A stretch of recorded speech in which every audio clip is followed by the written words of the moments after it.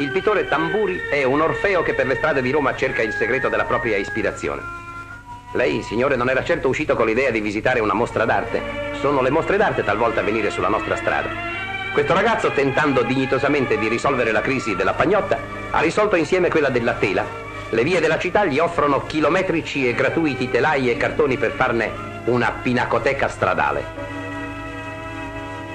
Strade e tappe di un viaggio fantasioso e colorito sono invece gli acquerelli di Aldo Raimondi.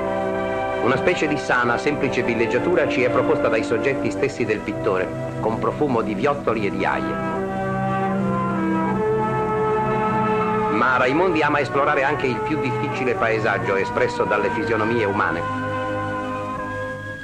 Mutare in una gioia o comunque in uno spettacolo per l'occhio la propria cecità è il commovente prodigio dello scultore francese Tourneau.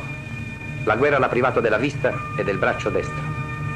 In una gara della volontà contro il destino, egli si è dedicato all'arte che più specificamente richiede i poteri di cui è privo.